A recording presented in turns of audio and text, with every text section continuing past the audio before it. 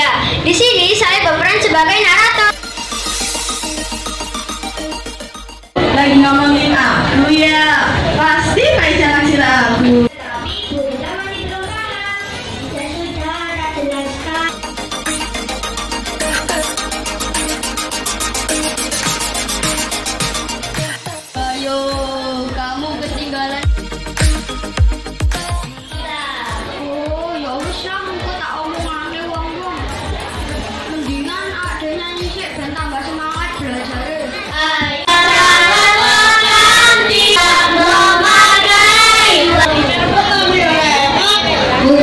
Yeah.